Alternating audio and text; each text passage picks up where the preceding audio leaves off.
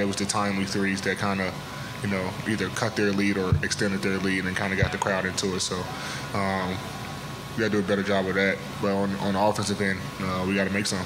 Kobe. Mike mentioned Denver's offensive rebounding, which led to 18 second chance points. They also had 21 fast break points.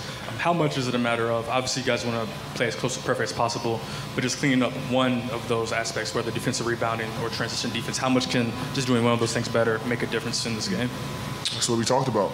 Uh, I think I told you that at, uh, our little shooting round yesterday that uh, we can't be bad at both.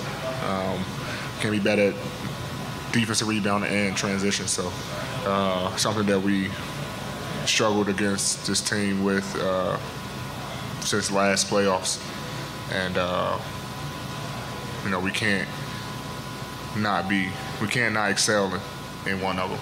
You know, especially not both. So um, you know, once again, that's our Achilles heel, and we have to uh, be better in both departments, if not one.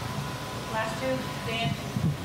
AD, what's the message to D'Lo after this? Uh, I think we all know how badly he wants to play well in this series based on what happened in the past. Um, did you like his aggressiveness tonight? And I guess after a rough game, when that kind of exists in the back of people's minds, is there anything that needs to be said to him?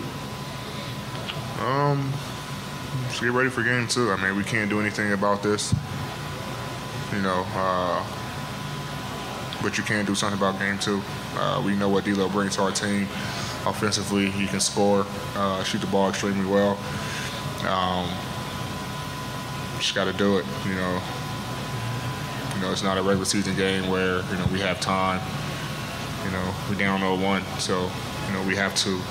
Uh, you know, everybody. You know, I do like the aggressive. I mean, really has to shoot the ball more. He only hit four shots. Um, be, I think he has to be a little bit more aggressive. Um, but you know, we got to see the ball go in. Um, I think that plays a, a, factor. A lot of our guys are rhythm players, so you know you miss the first couple, ball feels a little weird, or you know it could be a mental thing. I'm not sure. I haven't really talked to D'Lo yet, but um, you know it's on him to just come in, and we're going to continue to preach. Uh, you know, preach to continue to shoot the ball and, and, play how he's been playing, you know, up to this point. Um, I think he's a player that never loses confidence in himself, but um, I think when you see a couple go in, uh, he'll be a different player. Last question. AD, as you walk out of this building tonight and think about how well you guys uh, started, how well you personally played, but that third quarter, mm-hmm.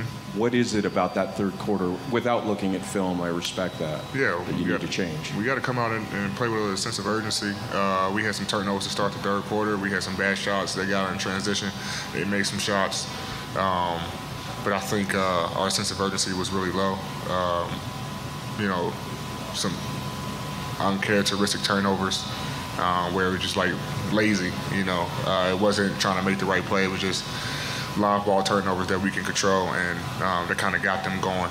Um, but I think it actually started, you know, late in the second, you know, kind of carry over into the third. So um, just got to be better coming out of, out of halftime, um, especially on the road. You know, we can't allow, you know, a team. I mean, if you look at the rest of the quarters, I mean, we were solid. Like I say, late in the second, they, you know, cut the lead, which why they had 32 in the second, but um, I think we were pretty good defensively. You know, 25 in the fourth, 25 in the first. But that third quarter uh, and the end of the second quarter um, hurt us and gave them momentum and confidence. And uh, you know, when you play a team like this who already have enough weapons, you know, you just can't give them easy ones.